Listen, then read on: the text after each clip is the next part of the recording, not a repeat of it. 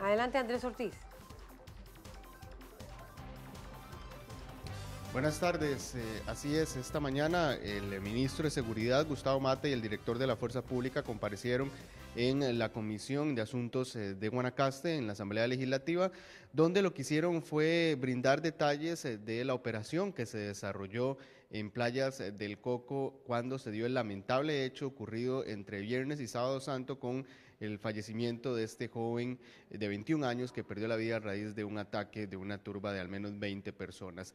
Lo que se ha manifestado por parte del ministro de Seguridad es eh, cómo está la situación general eh, del país y por supuesto también de esta zona en temas de presupuesto y de los recursos que tiene el Ministerio de Seguridad y la Fuerza Pública para operar. En el caso de Juan José Andrade, entre algunas cosas que mencionó, eh, dijo que el Guanacaste ha sido tomado o que se, ha dado, se dan muchas fiestas en la zona donde incluso eh, no se hace inversión en seguridad y algunos planes precisamente de seguridad no son los adecuados para atender. Veamos lo que dijo el director de la Fuerza Pública en donde las asociaciones o las organizaciones, en razón de que aducen fines benéficos y que no quieren este, invertir en la seguridad del evento, comprometen el poco recurso policial a atender actividades que lamentablemente ¿dónde tienen, dónde tienen espejo? En las estadísticas. Cuando uno revisa las estadísticas de los hurtos en Guanacaste, el 80% de los hurtos ocurren o en playas en fiestas. El ministro de Seguridad también hizo referencia a lo que ya se ha venido dando a conocer desde cuando se dio este lamentable hecho, que es son, o que son los reportes que ha presentado la Fuerza Pública en la Municipalidad del Cantón de Carrillo sobre algunos bares y también eh, licoreras que pues han tenido este continuo acercamiento a la policía debido a algunas infracciones eh, que cometen. Veamos lo que dijo tanto el ministro de Seguridad como también el alcalde del Cantón de Carrillo que estaba presente esta mañana en la comparecencia de los jerarcas de seguridad pública. Pero el problema que se está generando, no solo en esa zona, repito, es un desorden que se da organizado, porque hay gente que le favorece este desorden. Esto que manifiesta el compañero Andrade, de que hay bares, de que cierran tarde o que el todo no cierran, pues va a repercutir en la seguridad de cualquier barrio, distrito, provincia o cantón. Hay gente que sale a las 5 de la mañana tomando guaro toda la noche, se monta un carro, está propenso a que mate a alguien, está propenso a que, cometa alguna, alguna, alguna irregularidad. Estos bares que permanecen abiertos, pues son actos de consumo de licor y que como bien lo demostró también el señor Andrade en su, investigación que hizo, pues hay reportes de consumo de droga dentro y fuera de los bares.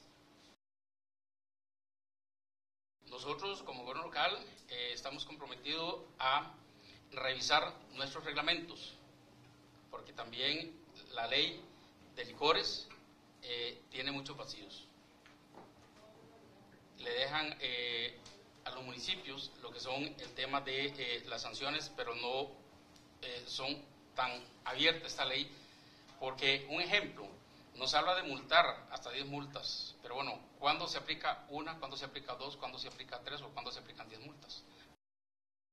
comunales y vecinos de la zona también estuvieron esta mañana en la Asamblea Legislativa, donde dieron o les dieron versión también para que ellos se pudieran expresar sobre lo que se ha dado. Nosotros conversamos eh, con la presidenta eh, de la Cámara de Turismo de Guanacaste sobre la situación y lo que ellos manifiestan que no se dé mala imagen a Playas del Coco. Veamos. Eso es el resultado de una serie de factores violentos, ¿verdad? O sea, esto es el resultado de una violencia estructural que sufre Costa Rica. No podemos ver la violencia desde la barrera y juzgar un pueblo entero por un acto que es absolutamente inusual tan inusual es que es una noticia. Si fuera algo normal, no estaríamos con esto. Pero es algo que se sale completamente de lo ordinario. Playas del Coco no es la culpable. Playas del Coco no es el delincuente. Playas del Coco simplemente fue el escenario en donde la violencia de un pueblo se expresó de una manera absolutamente sangrienta. Bien, cambiando de tema sobre lo que tanto se ha mencionado de Panama Papers. Eh, tratamos de conseguir una versión eh, del Ministerio Público, sin embargo, por medio de un comunicado de prensa, esto fue lo que nos informaron esta mañana, donde decía que de momento no hay una investigación abierta relacionada con la información publicada en la serie de reportajes denominados Panama Papers. Precisamente las noticias están siendo analizadas con el objetivo de identificar si existen o no sospechosas o si existen o no sospechas fundadas de que se cometieron delitos. Esta fue la respuesta de la Oficina de Prensa del Ministerio Público por el momento y también así se hizo por parte con, eh, del Colegio de Abogados, eh, que esto fue lo que ellos se refirieron ante las diversas informaciones y publicaciones de las últimas horas relacionadas con el caso Panama Papers. El Colegio de Abogados y Abogadas de Costa Rica está ahondando más sobre el tema, pues actualmente solo se cuentan con los artículos publicados por los medios de prensa. Esas son las versiones eh, que dieron esta mañana tanto el Colegio de Abogados como también el Ministerio Público. Pero le preguntamos al penalista y también quien fue fiscal, Eduardo Acuña, sobre cuál debería ser el papel del Ministerio Público en este momento. Veamos lo que él nos dijo.